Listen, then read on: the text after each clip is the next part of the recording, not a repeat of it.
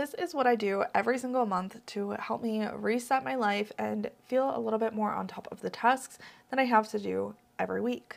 We are in my Notion account right now. This is their new homepage spread, which is absolutely incredible. It has been so helpful, especially this section right here for my tasks.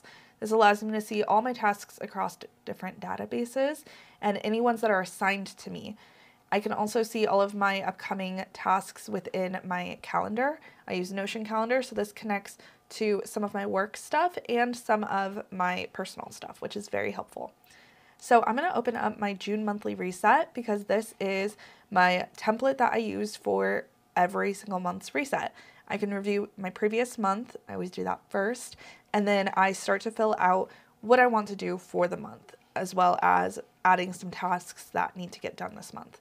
So first up, I'm going to start with what worked well last month, and then also looking at what needs work.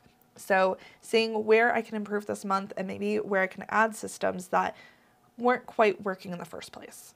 This month, I also have a section of things that I would like to do this month or things that are kind of important that I need to make sure I plan for. Things like going to the zoo with the kiddos, planning for a garage sale, planning date night, and planning a couple trips with the kiddos.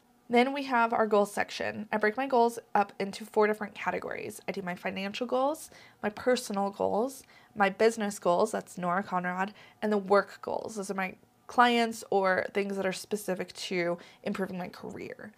So, first up, are financial goals. One of my goals is to pay off my phone this month. My husband and I are working towards being debt free. We are also putting 500 extra dollars into our emergency fund to refill it from a emergency that we had to use it for and then an extra $500 towards our mortgage. We're slowly trying to split our mortgage up into two payments a month rather than one big monthly payment at the beginning of the month. So we're prepaying a little bit until we get to that point. We're also doing a no spend challenge. So these are some of the rules that my husband and I have decided on and kind of outlined to help us start saving a little bit more money and hopefully roll even more money into debt. Personal goals this month are finishing five books. All of these I've started reading and I just haven't finished, so it's just kind of finishing those up for the month. Deciding on my school plan, I have to register for classes soon, so figuring out what classes I need to take. Doing weekly family meetings. My husband and I sit down every Sunday. We go through the budget, the groceries, and our schedule for the week. So we are trying that in kind of a different style, so the goal is to keep up with that. And then we are also doing Bible studies in a journal. So just planning out what Bible studies we want to do with each other, on our own, and with the kiddos. And then our work goals, or my work goals. I want to create a better work routine over the summer. My kids are home, so our routine has shifted a little bit, and I just kind of need to adjust and adapt to that. Spending an hour each week on just planning the week organizing emails, kind of setting up my systems so that I'm ready to go for the week and I know what needs to be done, planning a budget for new contracts that I have, updating my subscription trackers for my business. I started a new tracker system, and so I need to integrate that in with all of the systems that I already have existing, and that's what basically these next three tasks are. And then a couple of sections on some courses that I'm taking. Business goals for this month are my June content. I already have most of these planned or outlined or an editing process, but it's just getting these actually scheduled and posted. And also my campaigns, just getting those fully scheduled and posted. And then I have a few goals on here that I don't normally put into my goals section because these are kind of out of my control, but I am starting to track followers and more analytics on all my social platforms. So these are just ballpark goals for me that I want to have in my mind to remind me to just post consistently.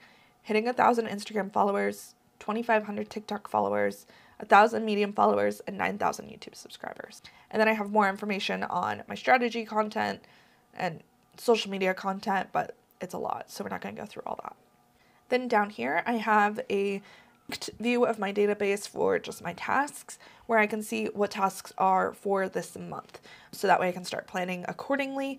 Just things like that I've been adding regularly, my June monthly reset, for example. And then I have larger tasks that are tied to projects, such as completing a course that I signed up for. We are deep cleaning and decluttering the house, and then a few like around the house tasks, like hanging things on the wall. So each of these links to a project, and within that project, I have my milestones and all of the progress that I have for each task. So this is a course, and that's kind of what the projects look like. Once I have all of my goals and things in this kind of monthly reset routine, what I do is I take each of these and I add them onto my calendar or add it into my tasks. That way, they're not just goals, but they're actually scheduled action steps that allow me to hit my goals. So I'm to do that right now. Okay, so now my reset has all of the tasks added to the calendar with the correct projects and goals linked to it so that I can keep better track. And then you can see this looks a lot smaller now because most of those have been moved down into actual tasks.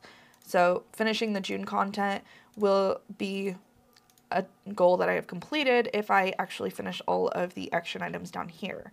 There are some things that I don't add to the actual calendar, such as financial goals, because those are just going to happen throughout the month or probably all at the end of the month. So those don't have exact due dates. Same with creating a routine, that's just going to be intentionally getting on every day and working through that. But everything else I have dragged down into the action items and assigned due dates for. So it's spread out throughout the month and I have a better idea each week of what needs to get done.